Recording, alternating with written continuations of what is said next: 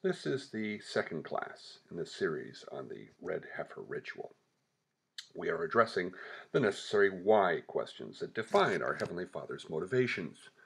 The answers to these why questions will take the light out of the darkness concerning the eternal truths and principles of our Creator being radiated through this ritual. So the next question in our list is about touching. That merely touching the dead assigns such a serious defilement that one has to remove themselves from the community for seven days and participate in two sin offerings or leave the community forever. So the question is why? Why is touching the avenue of defilement? We read in Numbers 19 and verse 16 And whosoever touches one that is slain with a sword in the open field, or a dead body, or a bone of a man, or a grave, shall be unclean seven days. We, we probably recall the warnings about the contagious nature of the touch of an unclean person. Whatever that unclean person touches becomes a new uncleanness host. And anything touching that new uncleanness host actually becomes a new uncleanness host. This is exactly the same way that disease is transmitted. A person with the flu or a cold can transmit the disease by leaving the disease carrying microorganisms on door handles or any shared surface. This is a creational feature under the curse of sin and death. Surgeons only started scrubbing between surgeries in the late 19th century after the microscope was invented, and this disease laden bacteria could be seen. All of a sudden, the death rate in hospitals plummeted when surgeons actually started washing between surgeries, respecting the principle of uncleanness contagiousness testified to by the laws of the First Kingdom age. One should legitimately wonder why any professed Bible believer would ever think that disease would not be passed by touch if there were no cleansing. Science finally caught up with Bible truths but about 3,500 years later than it should have. I guess exclusively scientific thinkers are pretty slow learners. Death by touch was a highly emphasized lesson of the Mosaic covenant, which focused on personal works as well as divine judgment. That covenant at Mount Sinai was also marked by a death touch. We quote from Exodus 19, verse 13. There shall not an hand touch it, but he shall surely be stoned or shot through, whether it be beast or man. It shall not live. When the trumpet sounds long, they shall come up to the mount. This covenant was based on works. This covenant magnified sin and schoolmastered us to Christ in desperate need of an unattainable self justification. It demonstrated we could not justify ourselves no matter how hard we tried. It was perfect symmetry. That touching this very Mount Sinai, where the vileness of sin and our incapacity to live without sin was being spotlighted and would mean certain death for man and beast. And now we should note the death judgment on beasts as well. An animal would know nothing of this warning, but that would not prevent their death due to physical contact with the mountain. This is what happened in the Garden of Eden.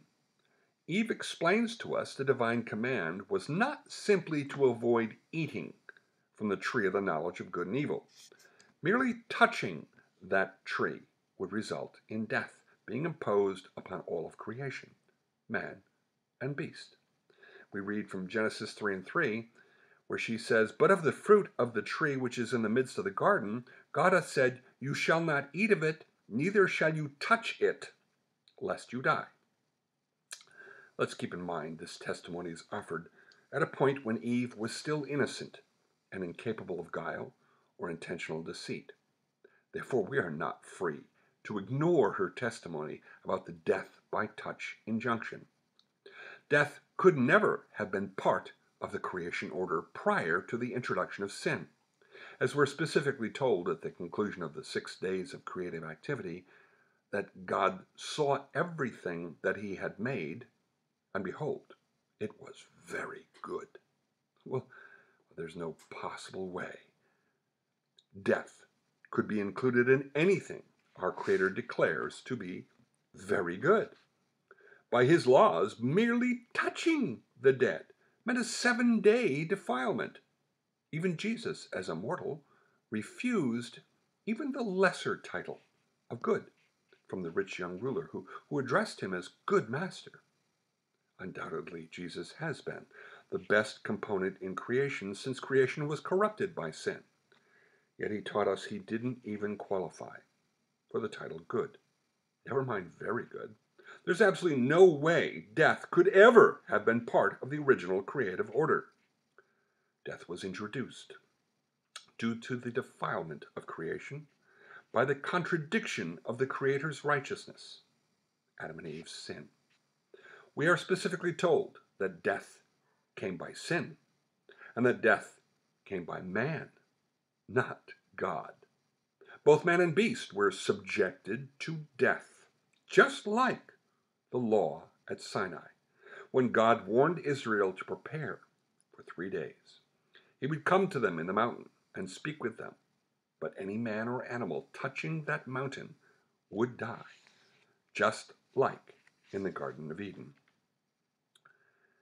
Just as touching not the unclean thing was a command during the First Kingdom age, with its educational focus on sin condemnation and the necessity for righteous works, so touching the holy thing is an absolute command during the ecclesial age, with its progressive educational focus on grace and imputed righteousness. We have to touch Jesus. We do this in baptism when we touch his dead body by joining him in the watery grave of baptism. We do this with the bread and the wine when we eat his flesh and drink his blood. We are not defiled by that touch. We're not unclean. We're made holy. Just as the direct touch of the altar of burnt offering and the direct touch of the flesh of the offerings under kingdom law uh, offered an automatic holiness status. We read this in, uh, concerning the altar in Exodus 29, verse 37. We read, Seven days thou shalt make an atonement for the altar and sanctify it, and it shall be an altar most holy. Whatsoever touches the altar shall be holy. And also in Leviticus 6, uh, verse 18. It shall be a statute forever in your generations concerning the offerings of Yahweh made by fire. Every one that touches them shall be holy. The prophet Haggai addresses this touching distinction in relation to Israel in connection with their delay in rebuilding the temple. We read in Haggai chapter 2, starting at verse 10.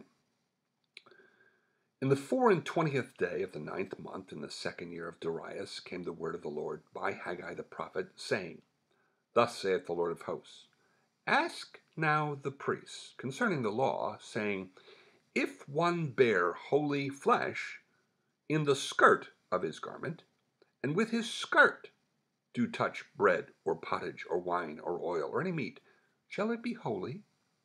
And the priests answered and said, No. Then said Haggai, if, if one that is unclean by a dead body touch any of these, shall it be unclean? And the priests answered and said, It shall be unclean. Then answered Haggai and said, So is this people, and so is this nation before me, saith the Lord, and so is every work of their hands, and that which they offer there is unclean. Yahweh highlights the touching difference. Direct contact is the only avenue for what is positive, but indirect contact is contagious in reference to what is negative. Therefore, all Israel was in an unacceptable state with God. Isn't that interesting? Positive requires direct contact and is not transferable. Holiness is not contagious. Holiness does not assign a new holiness host, unlike what is negative. Negative, uncleanness, is indirect and contagious.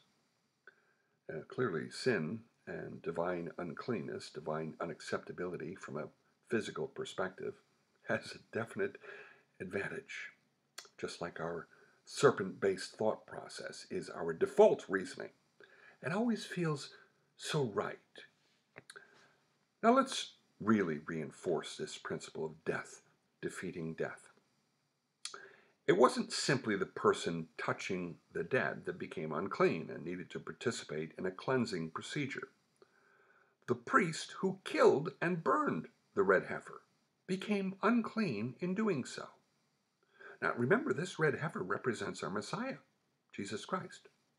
That priest had to wash his clothes and bathe his body and was considered unclean until the next day, which would be that evening.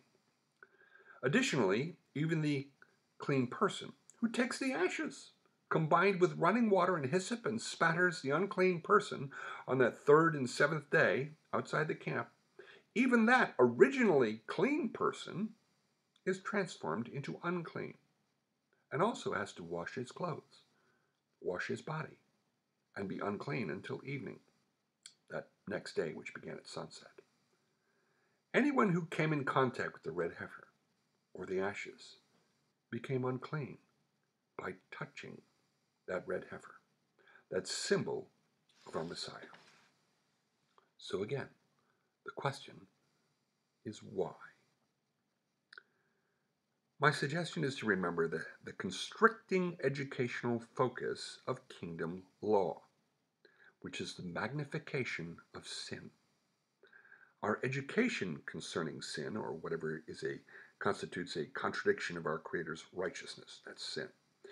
Kingdom law could not save us, it can only condemn us, legitimately, righteously, but was incomplete for the saving process. We need to balance the equation with grace.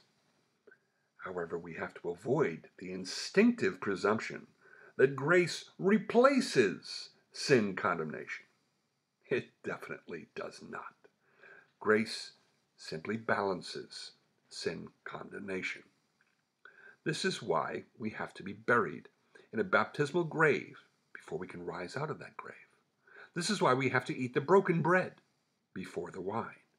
The instinctive human heart generated thought process prefers to presume that forgiveness is automatic and pretty close to effortless. But if grace completely eclipsed judgment, if grace eliminated the condemnation of sin, then why are the laws of the kingdom of God that we're told magnify sin to be reapplied in the millennial kingdom? Why will circumcision and Sabbath observance and bloody altar offerings and temple worship and incense burning and Passover and the Feast of Unleavened Bread and the Feast of Tabernacles going to be demanded of the entire world if grace somehow completely eliminates any consideration of our painful recognition of sin.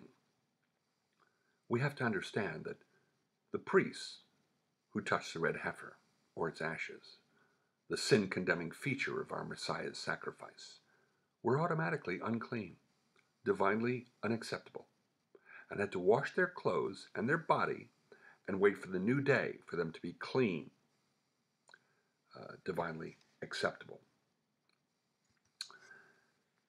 we would we should think about what that means. Contemplate.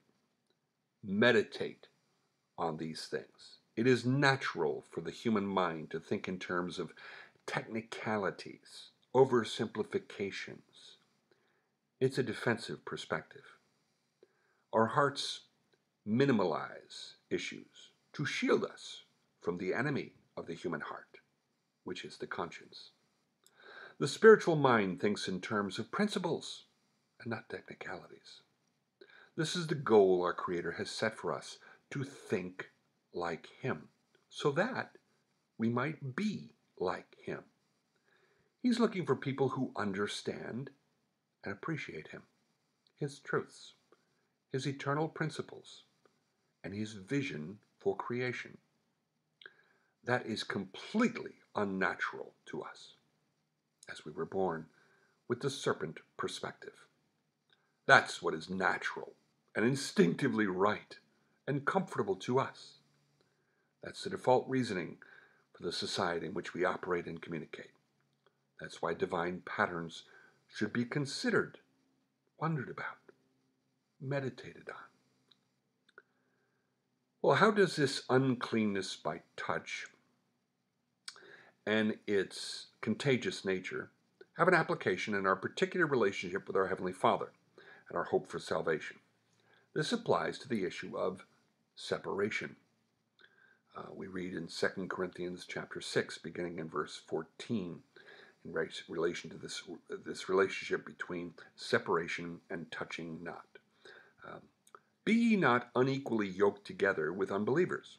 For what fellowship has righteousness with unrighteousness? What communion has light with darkness? What concord hath Christ with Belial? Or what part hath he that believes with an infidel? And what agreement hath the temple of God with idols? For you are the temple of the living God. As God has said, I will dwell in them and walk in them, and I will be their God, and they shall be my people.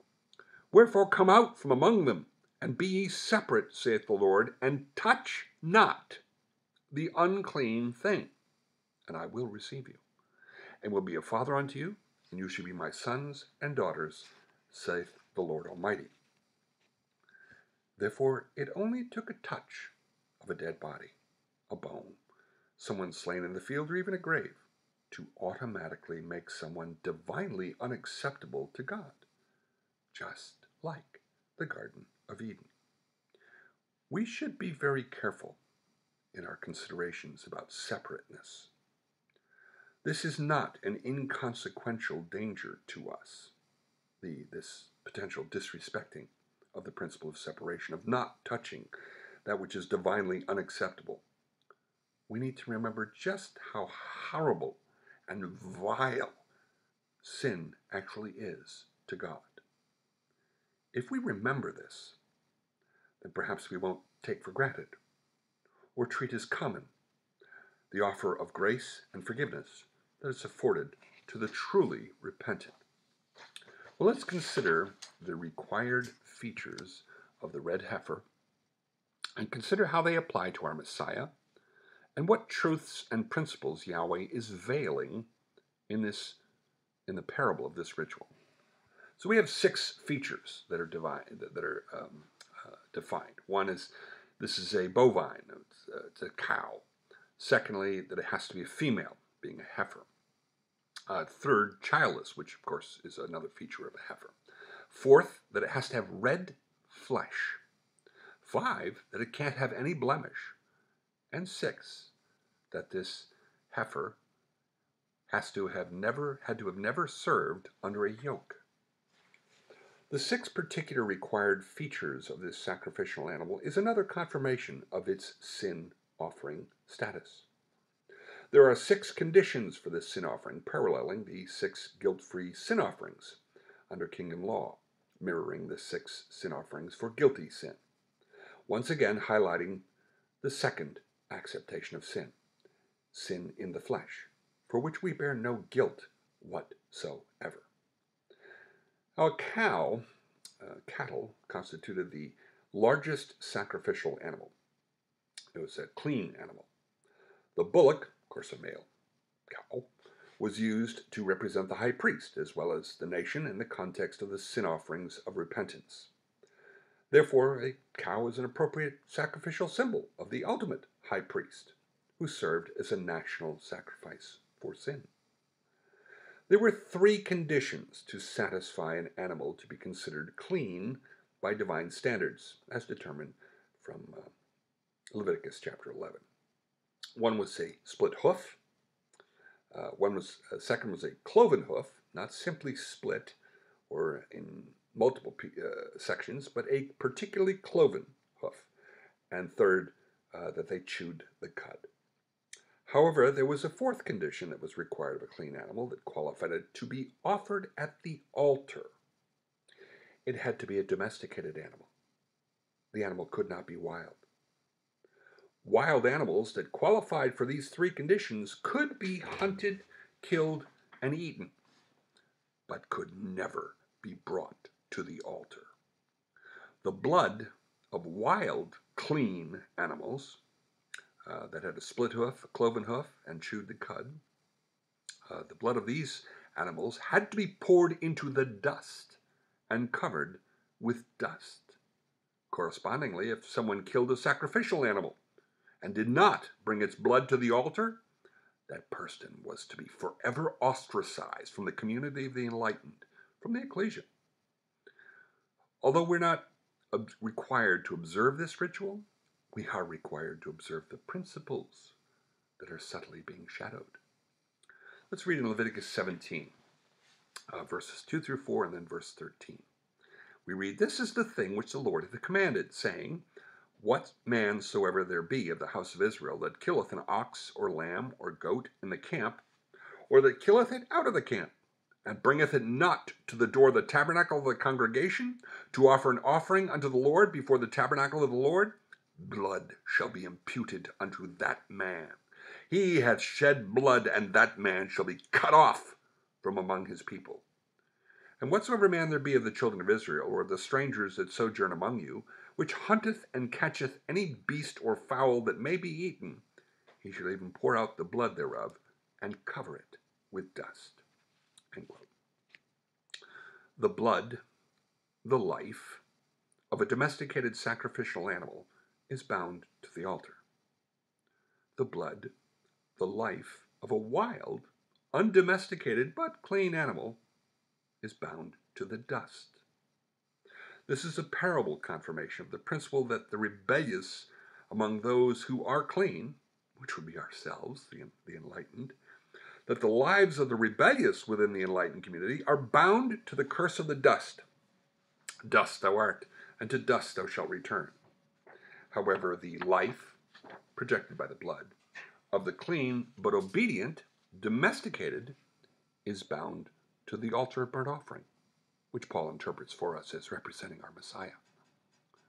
So there were three conditions for determining a clean animal, but a fourth condition for qualifying that animal for associating it with the altar.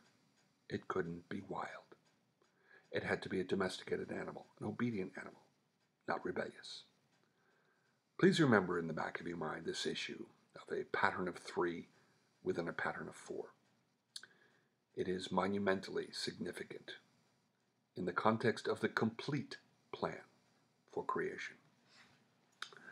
Now, male calves, bullocks, were certainly welcome at the Christ altar, at the bronze altar of burnt offering. A bullock uh, constituted the sin offering for the high priest and also for the nation. But the red heifer had to be just that a heifer, a female. Why? and not just a female, but a female that had never given birth, a heifer. The primary answer is that this was the avenue for our Messiah to possess the capacity to defeat death through death by break, breaking the power of sin in his body. The subject of how Jesus bore sin on the cross and on what basis sin was there on that cross has been a traditional stumbling block for Bible commentators and even those within the community of the enlightened since Christ was crucified. One aspect of this question has been the basis of how the benefits of Christ's sacrifice are extended to us. Is it a question of substitution or representation? Did Jesus die instead of us or simply for us? as an extension of dying initially for himself.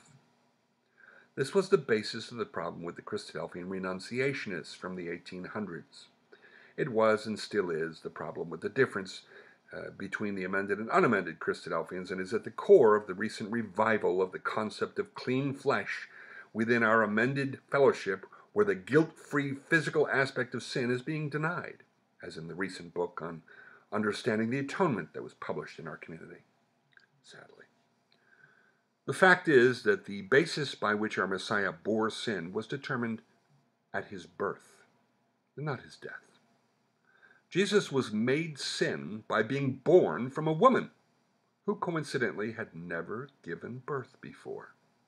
exactly mirroring the terms of the red heifer, the sin offering for the cleansing from death. Let's just look at how this is expressed by the Apostle Paul in 2 Corinthians 5 and verse 21. We read, For he has made him to be sin for us, who knew no sin, that we might be made the righteousness of God in him.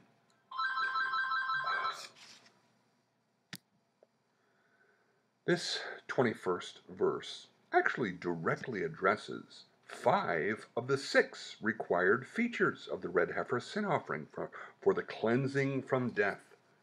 Our Messiah was made sin at his birth, not his death. The Virgin Mary, a woman from whom no child had been born, was impregnated by the Holy Spirit to give birth to Jesus, the ultimate red heifer, the antitypical red heifer. However, as Job tells us, no one can bring a clean thing out of an unclean thing. Therefore, Jesus was born with the same unclean, cursed human nature as his mother, with the same embedded serpent philosophy, what Scripture calls sin, as demonstrated in the required red flesh of the heifer, that red skin, that red flesh. One confirmation of this would be noting that Mary, appropriately, gave a sin offering for herself for giving birth to Jesus. And we read about in Luke 2, verses 22 to 24. We compare that to Leviticus 12 and verse 8. In reference to our confidence in the immortal human nature of Jesus, as opposed to the apostate presumption of an immortal being disguising himself in a mortal being, mortal body, this sin offering by Mary for giving birth to Jesus is absolute proof that Jesus was not God. If Jesus were an immortal and therefore perfectly holy and right, then on what basis would it have been appropriate for Mary to give a sin offering just for being a portal for an immortal being to put on a mortal body disguise and pretend to be born? Jesus was made sin at his birth, not his death by a female who had not given birth previously, just like the required female status of the red heifer, who could not have previously given birth and whose flesh had to be red. Just like God told Adam and Eve. It would be specifically the seed of the woman that would defeat the serpent, as we're told in Genesis 3 and 15. That seed produced from the woman would, be, would not be generated from man, but from God. Therefore, he would be the seed of the woman. The avenue by which Jesus was made sin, inheriting the same cursed human nature we do, with our default thought process being self centered and not God centered. Human nature is called sin because it was both the direct result of Adam and Eve's sin and also that human nature is the engine for contradictions to our Creator's righteousness, the cause of guilty sin. Let's just read that verse in 2 Corinthians 5 and 21 more, one more time. For he has made him to be sin for us who knew no sin, that we might be made the righteousness of God in him. We noted that at least five of the six required features of the red heifer are addressed in this particular verse. The process by which Jesus was made sin can be seen in the red heifer requirements of being female, never having previously given birth, and the completely red flesh, sin in the flesh, red flesh of the animal, indicating that sinful flesh. However, there also could not be a single blemish in this animal, projecting the understanding expressed in this 21st verse that Jesus knew no sin. Despite the fact that he was made sin, Jesus never performed any sin. He never allowed that sin prone flesh to actually conceive guilty sin. He was blemishless, which is also confirmed in the requirement that the red heifer could never have served under a yoke, indicating how our antitypical red heifer, our Messiah, would never serve sin at any time. We're exhorted to change our master at baptism, to no longer serve sin, to no longer be yoked to sin, to shift our natural allegiance from sin to the unnatural allegiance to the Spirit. Our Messiah never, ever served sin. He never served under the yoke. And therefore, as Paul says in 2 Corinthians 5 and 21, he knew or experienced no performance sin, despite being made sin at his birth just like us. Uh, similarly, we read in Hebrews 9, uh, starting in verse 25. Nor yet that he should offer himself often, as the high priest entered, entereth into the holy place every year with the blood of others, for then must he often have suffered since the foundation of the world. But now once in the end of the world hath he appeared to put away sin by the sacrifice of himself. And as it is appointed unto men once to die, but after this the judgment, so Christ was once offered to bear the sins of many, and unto them that look for him shall he appear the second time without sin unto salvation. Although Jesus came the first time with sin, he comes the second time without sin. The sin he came with the first time was the human nature he was born with, from an unclean, on the basis of sin nature, childless female, and exactly the pattern indicated by the red heifer. Jesus defeated that sin, crushing the serpent's head underfoot by being blemish free, never serving under the yoke of sin, and then dying violently on the cross to execute the cause of sin, which was nakedly exposed by the blemish free, transgression free body of Jesus that had never served under sin's yoke. Jesus declared the righteousness of his Father, that sin deserves death, and that his Father's judgment in Eden was, is, and always will be right in demanding death for sin. Jesus put the cause of sin to death. Three days later, he rose from the dead. He defeated death through death in exactly the pattern the red heifer ritual demonstrates. On the basis of Christ's antitypical ashes, we can be cleansed from the defilement of death. This is why we're baptized into Christ's death. This is why we eat the bread of his broken body, where the power of sin was broken, but not a single bone was broken, and why we drink his blood. We have to understand how and why our Messiah had to die in order to demonstrate that our Creator's judgment of death for sin was right. This is what everything is all about understanding and appreciating the rightness of our Creator, so that we might participate in the benefits of His eternal truths and principles, His rightness, His righteousness. This isn't all about us. The primary reason Jesus had to die was not so that we could be forgiven of our sins, as so many Christadelphians tell us. The primary reason was to validate his Father's righteousness. Our forgiveness is just a side benefit. We're not the main event. We're not the center ring. That is Yahweh. That red cow had to be a heifer a female that had never given birth. As we've observed, this confirms the path by which our Messiah would bear sin, being born of a virgin. But there, there's more to this, as the red heifer is a ritual parable of Jesus Christ himself. In what context? Why should the heifer be childless upon its sacrificial execution?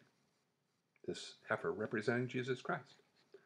That's because it's on the basis of the death of Jesus that he has the capacity to have children. It is on the basis of his death that Jesus qualifies for the title he's given in Isaiah 9 and verse 6 of being an everlasting father. Uh, we read in that uh, verse, For unto us a child is born, unto us a son is given, and the government shall be upon his shoulder, and his name shall be called Wonderful, Counselor, the Mighty God, the Everlasting Father, the Prince of Peace. Another verse in Isaiah validating this understanding that's projected by the heifer status would be Isaiah 53, verse 10, where we, read, Yet it pleased the Lord to bruise him, he's put him to grief. When thou shalt make his soul an offering for sin, he shall see his seed. He shall prolong his days, and the pleasure of the Lord shall prosper in his hand. It's on the basis of our Messiah making his soul, his life, an offering for sin, by which he will see his seed, his descendants, his children. Paul expresses the same thought in this way. 1 Corinthians 15, starting in verse 22. For is in, as in Adam all die, even so in Christ shall all be made alive. But every man in his own order. Christ the firstfruits, afterward they that are Christ's at his coming. Christ is the firstfruits from the grave, having broken the power of sin and death, and then rising from that the grave to live forever. Those that are Christ, those that belong to Christ, will experience this rebirth, this born again experience at his coming. These are the two stages of the red heifer ritual. The first is the burning to ashes of the red heifer, the red cedar, the scarlet, the hyssop, indicating the sacrificial death of our Messiah. The second stage is the spattering of the ashes with running water onto the individuals defiled by death. This reflects those that belong to Christ, his seed. They will be reborn again at his coming. This is another reason why the ritual called for a red heifer. It was only through the sacrificial death of the antitypical red heifer that Jesus would have children. On the basis of both the virgin status of Christ's mother, the basis by which Jesus was made sin at his birth, and the fact that Jesus would only become a father on the basis of his sacrificial death. The heifer status for this kingdom of God ritual was absolutely necessary. Let's ask about the last three conditions for this sacrificial animal the, the red flesh, its unblemished status, and having never served under the yoke. Just like the first three conditions, these three have to also be considered under the umbrella theme of sin condemnation. We've noted how re- they related to 1 Corinthians 5 and 21, but now let's prove how these features relate to the red heifer being a sin offering. The red flesh, of course, is an absolutely perfect portrait for the principle of sin in the flesh. Red flesh. This is the guilt free second category of sin, human nature, the producer of congressional, uh, transgressional sin. Most, if not all of us, are probably aware of how the color red is consistently associated with sin throughout Scripture. Oh, for example, Isaiah 1 and 18 where we read, Come now, let us reason together, saith the Lord. Though your sins be as scarlet, they shall be white as snow. Though they be red like crimson, they shall be as wool. And of course, we also have the, the allegorical red dragon referenced in Revelation, um, refer, referring to the principle of aggregate sin expressed politically, which is why the application of the dragon can shift politically several times uh, although maintaining a Roman association at every phase. Red is highly emphasized in this red heifer sin offering. Let's notice verses 5 and 6 of uh, Numbers 19. And one shall burn the heifer in his sight, her skin, her flesh, her blood, with her dung shall he burn. And the priest shall take cedar wood and hyssop and scarlet and cast it in the midst of the burning of the heifer. So we see uh, red skin, uh, red red components, the uh, the red hide, the red flesh, the red blood, uh, and then we have a non-red item, the dung, and then we have the uh, the four incineration components, uh, being the red cedar, the red clod, the red heifer, and the hyssop, which doesn't necessarily have to be red and is not identified as red.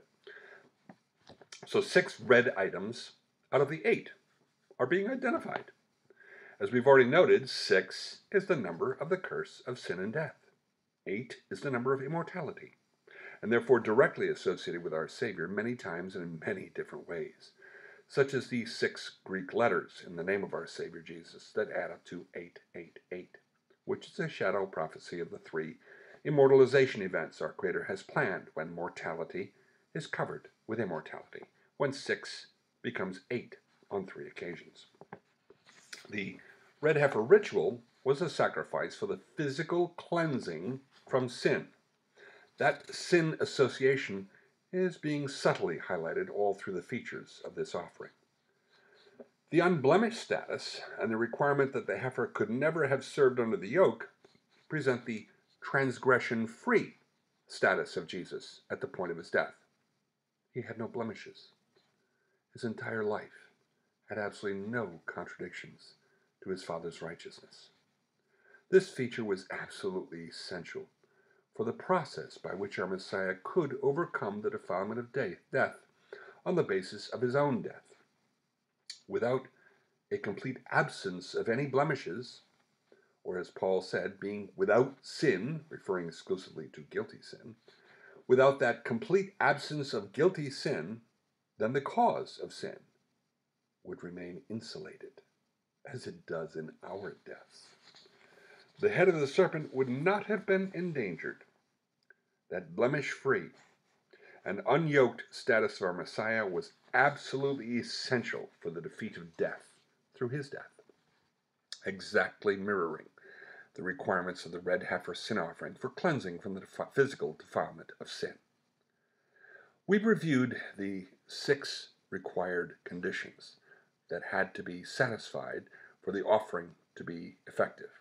In our next class, we'll address why it was the appointed high priest, uh, why the appointed high priest was not assigned the responsibility for performing this red heifer ritual, as well as some other questions such as the blood spattering and the third and seventh day applications of the red heifer ashes uh, that offer not only a fascinating prophecy, but presents a unique pattern that is repeated in both the Old and New Testaments.